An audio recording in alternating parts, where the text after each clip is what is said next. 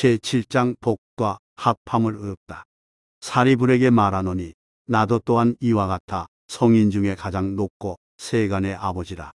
모든 중생들은 모두 나의 자식들이나니 세간의 즐거움을 깊이 탐하고 집착하여 지혜의 마음이 없고 삼계에는 편안함이 없고 불타는 짓과 같나니 중생들의 고통이 가득하여 심히 무섭고 두렵다. 항상 나고 늙고 병들고 죽는 우환이 있고 이와 같은 등등의 불길이 시성하게 타올라 쉼이 없다. 열에는 삼계의 불타는 집을 여의고 정멸하고 한가하고 편안한 숲속에 있나니 지금 이 삼계는 모두 다 내 것이요. 그 가운데 중생들은 다 나의 아들이라. 지금 이곳은 갖가지의 환난이 아주 많지만 오로지 나 한 사람만이 능히 구호할 수 있다. 내가 비록 타일러서 가르치고 부르지만 믿거나 받지 아니하고 모든 용락에만 물들어 탐하고 깊이 집착한 까닭으로 이제 이러한 방편으로 중생들에게 삼승을 설하여 삼계의 모든 중생들이 삼계의 고통을 알게 하고 세간에서 벗어나올 길을 열어 보이려고 연설하는 바이니라. 이 모든 아들들이 만일 마음을 결정하게 되면 삼명과 육신통을 구족하고 영각을 얻어 불태전의 보살이 되느니라. 사리불과 그대들은 내가 중생을 위하여 이러한 비유로 일불승을 설하나니 그대들이 만약 능히 이 말을 받아서 믿고 수행한다면 일체의 모든 이들이 마땅히 불도를 이루리로다.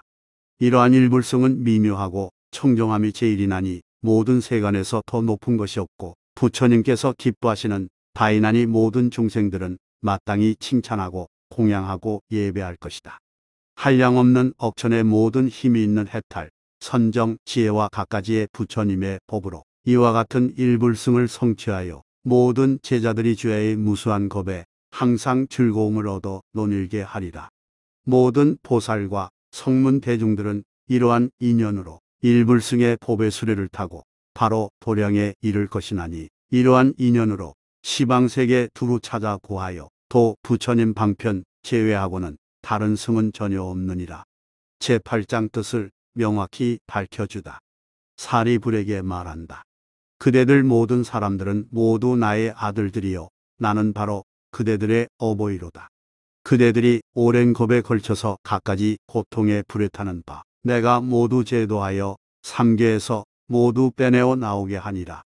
내가 비록 먼저 그대들에게 멸도를 말하지만 단지 생사를 다하였을 뿐이요. 실은 멸한 것이 아니니 이제 마땅히 오직 부처의 지혜를 지어야 하니라.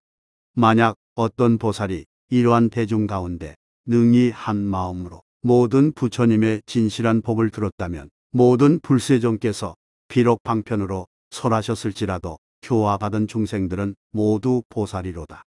만약 어떤 사람이 지혜가 적어 애욕에 깊이 탐착하였다면 이들을 위하여 고제를 설한 까닭으로 중생들의 마음이 아직까지 경험하지 못한 기쁨을 얻나니 부처님이 설하시는 고제는 진실하여 다름이 없다. 만약 어떤 중생이 고의 근본을 알지 못하고 깊이 고인에 깊이 집착하여 능히 잠시도 버리지 못한다면 이러한 사람들을 위하여 방편으로 도를 설하시느라. 모든 고인은 탐욕을 근본으로 삼나니 만약 탐욕을 멸하여 의지하는 바가 없다면 모든 고가 사라져 다하나니 이를 이름하여 고진멸의 삼재라 하니라. 멸제를 하는 까닭으로 도를 수행하고 모든 괴로운 속박을 벗어남을 이름하여 해탈을 얻었다고 하나니 이 사람은 어떻게 해탈을 얻은 것인가.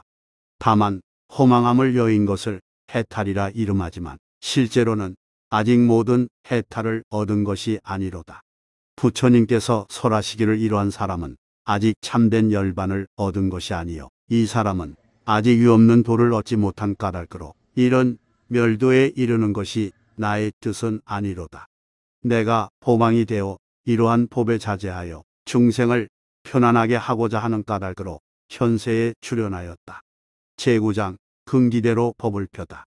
그대 사리불이여 나의 이러한 법인은 세간을 이익되게 하고자 하는 까닭으로 설하는 것이나니 이곳 저곳을 돌아다니면서 망령되게 선전하지 말지로다. 만약 어떤 이가 이 법에 기쁘게 수순하여 머리를 숙이고 받아들인다면 마땅히 알지나니 이 사람은 압이 발치에 있는 것이다. 만약 어떤 사람이 이 경과 법을 받아 믿는다면 이 사람은 과거에 부처님을 만나 뵙고 공경 공양하여 또한 이러한 법을 들었다. 만약 어떤 사람이 능히 그대의 설하는 바를 믿는다면 그는 곧 나를 보는 것이요 또한 그대를 보는 것이요 비구승과 또한 모든 보살들을 보는 것이로다. 깊은 지혜가 있는 이를 위하여 이러한 법화경을 설하는 것이나니 들어서 아는 바가 천박한 사람은 미혹하여 이해하지 못하니라. 모든 성문과 벽지불은 이 경을 들을 힘이 없다. 사리불과 그대들도 항상 이 경전을 믿는 마음이 있어야만 받아들일 수 있거늘 하물며 나머지 성문들은 더 말할 필요가 있겠는가. 그 나머지 성문들은 부처님의 말씀을 믿는 까닭으로 이경에 수순하지만 자기의 지혜로 아는 것은 아니니라. 제10장 상근기에게 법을 설하라. 또한 사리불이여 교만하고 게으르고 나라는 소견에 빠져 있는 사람들에게는 이 경전을 설하지 말지니라. 범부의 천박한 지식으로 의욕에 깊이 집착하는 사람들은 들어도 능히 그 뜻을 모르나니 또한 그런 사람들에게도 설하지 말지로다. 만약 어떤 사람이 믿지 아니하고 이 경전을 회방한다면 즉시 모든 세간에 부처님의 종자를 끊을 것이로다. 혹은 다시 얼굴을 찡그리고 회의하고 의심하고 의혹을 일으킨다면 이 사람이 받게 될 죄의 과보를 설할 것이나니 그대들은 마땅히 들을지로다. 만약 부처님께서 세간에 계실 때나 열반에 드신 뒤라도 이와 같은 경전을 비방하고 경전을 독송하고 경선을 가지고 있는 사람을 가볍게 대하고 천대하고 미워하며 질투하고 원한까지 품는다면 이 사람이 받을 죄의 과보를 너희들은 이제 다시 들을 지로다. 그 사람은 수명이 다하여 아비지옥에 들어가 한 겁을 채우고 겁이 다하면 다시 태어나기를 이와 같이 계속하여 무수한 겁을 지나서 지옥에서 나온 뒤에는 응당 축생계에 떨어져서 개가 되거나 여우가 되어 그 모양이 바싹 마르고 더럽고 병에 걸려서 사람들이 접촉하기 싫어하고 또한 다시 사람이 되더라도 천대받게 된다. 항상 공궁하고 굶주리고 목마르고 뼈와 살이 상접하여 살아서는 매를 맞고 기와장과 돌에 맞아 죽나니 부처님의 종자가 끊어진 까닭으로 이런 죄를 받는다. 낙타가 되거나 당나귀로 태어나고 몸에는 항상 무거운 짐을 지고 채찍을 맞으면서도 오로지 어물만 생각하고 다른 것은 모르나니 이런 경전을 비방한 까닭으로 이와 같은 죄를 받는다. 여우가 되고 마을에 들어오면 몸이 더럽고 병들고 또 눈은 하나뿐이고 모든 아이들이 때리고 돌을 던져서 갖은 고통을 받으면서 죽게 되고 죽어서는 다시 구렁이의 몸을 받아 그 모양이 장대하여 500유순이나 되고 귀가 없고 발이 없이 꿈틀거리며 배로 기어다니고 갖가지 작은 벌레들에게 빨리고 밤낮으로 고통을 받아 쉼이 없나니 이 경전을 비방한 까닭으로 이런 죄를 받는다. 만약 사람이 되었더라도 여섯 강간이 우둔하고 난쟁이, 곰배파리, 절름발이, 장님, 귀모거리, 곱사 등이 되어 무슨 말을 하더라도 사람들이 믿지 않고 입에서는 항상 나쁜 냄새가 나고 귀신들이 따라 붙고 빈궁하고 천대받고 사람들의 심부름이나 하고 병이 많고 여의고 의지할 바가 없고 비록 사람들에게 친하고자 하더라도 사람들은 뜻이 없고 무엇을 얻었다 하더라도 금방 다시 잃게 되고 의술을 닦아서 약방문대로 치료하더라도 다시 다른 병이 더하고 다시 죽게 되고 자기가 병이 있으면 치료해 줄 사람도 없고 좋은 약을 먹더라도 다시 병이 더욱 악화되고 다른 이의 반역이나 노략질 절도죄와 같은 죄에 연루되나니 이와 같은 죄인들은 영원히 부처님 못 배우며 성인 중에 왕이신 부처님이 설법 교화하실지라도 이와 같은 죄인들은 항상 험난한 곳에 태어나고 미치광이 귀모거리나 마음이 심란하여 겐지스강 모래알같이 무수한 겁을 영원히 법을 듣지 못하고 날 적마다 벙어리나 귀모거리로 모든 감관을 구족하지 못하니라. 항상 지옥에 처하기를 동산에서 노는 것과 같고 악도에 있기를 안방같이 하고 낙타, 당나귀, 멧돼지, 개는 그들이 가는 곳이나니 이 경전을 비방한 까닭으로 이와 같은 죄를 받는다.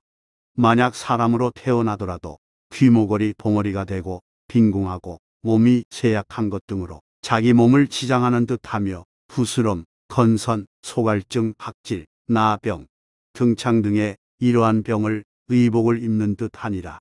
몸은 항상 더러운 곳에 있어서 때가 묻고 더럽다. 나라는 소견에 깊이 접착하고 속내는 일이 늘어나고 음욕이 지성하여 금수조차 가리지 않나니 이러한 경전을 비방한 까닭으로 이와 같은 죄를 받는다.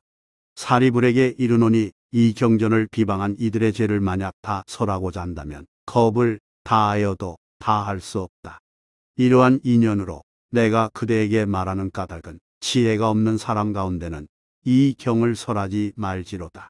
만약 어떤 사람이 근기가 날카롭고 지혜가 명료하고 많이 듣고 지식이 강대하여 부처님의 도를 구하고자 하는 사람들에게는 설법할 수 있다. 만약 어떤 사람이 거듭하여